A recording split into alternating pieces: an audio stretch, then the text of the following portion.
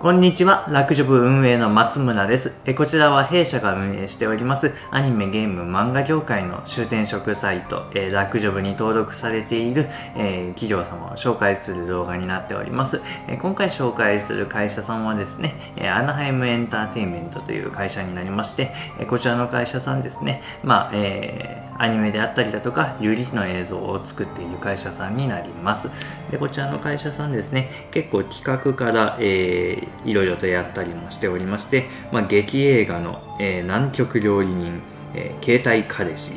え